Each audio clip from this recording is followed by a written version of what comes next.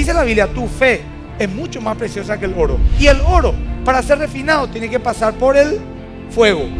Tu fe tiene que ser probada. Las adversidades son oportunidades para desarrollar tu fe. El Señor dice, escúchame, yo sé hasta dónde soportas. La verdadera fe persevera.